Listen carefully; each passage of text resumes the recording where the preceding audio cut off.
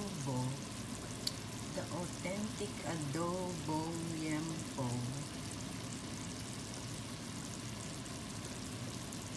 Umubulak, sumusulak, matimuyak.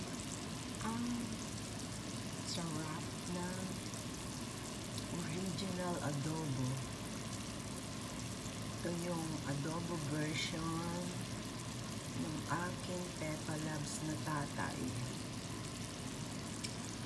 Pag umuwi siya from Manila, from Quiapo, doon lang kami nakakatikim ng karnin, baboy, at yan, wala nang ibang menu, kundi adobo.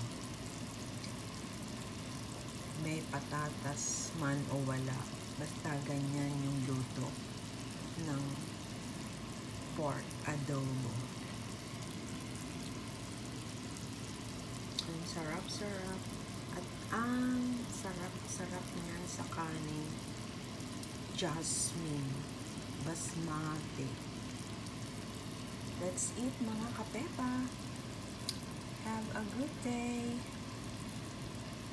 Jesus loves.